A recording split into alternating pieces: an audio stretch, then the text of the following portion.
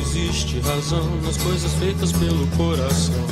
E quem irá dizer que não existe razão? Eduardo abriu os olhos, mas não quis se levantar. Ficou deitado e viu que horas eram. Enquanto Mônica tomava um conhaque no outro canto da cidade, como eles disseram. Eduardo e Mônica dia se encontraram sem querer. Conversaram muito mesmo pra tentar se conhecer. Carinha do cursinho do Eduardo que disse que é uma festa legal, que a gente quer se divertir. Festa estranha com gente esquisita, eu não tô legal. Não aguento mais birita e a Mônica riu. Quis saber um pouco mais sobre o boizinho que tentava impressionar. E o Eduardo meio tonto só pensava em ir pra casa é quase duas, eu vou me ferrar.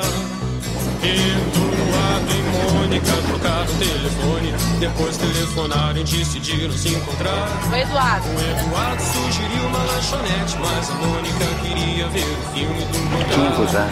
Se encontraram então no parque da cidade. A Mônica de moto, o Eduardo de camelo.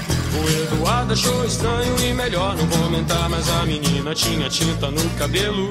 Tchau, Mônica. Eduardo e Mônica era nada parecido. Ela era de Leão e ele tinha 16. Ela fazia medicina e falava alemão, e ele ainda nas aulinhas de inglês. Ela gostava do Bandeira e do Bauhaus, Van Gogh, dos Mutantes, de Caetano e de Rambo. E o Eduardo gostava de novela e jogava futebol de botão seu amor. Ela falava coisas sobre o Planalto Central, também magia e meditação. Eduardo ainda tava no esquema de escola, cinema, clube e televisão. E mesmo com tudo diferente, veio medo, de repente uma vontade de se ver. E os dois se encontravam todo dia e a vontade crescia como tinha de ser.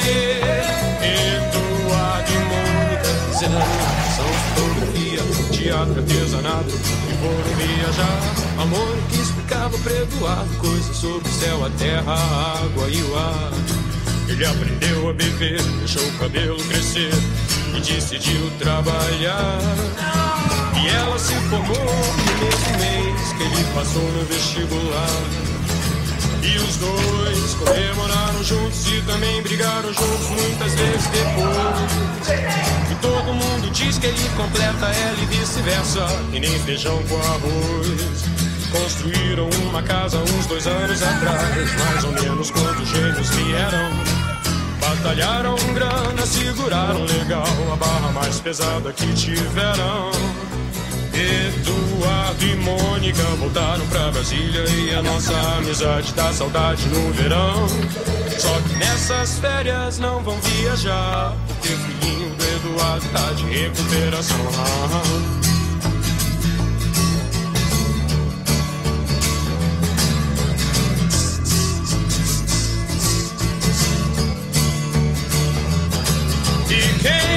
Dia irá dizer que existe razão nas coisas feitas pelo coração?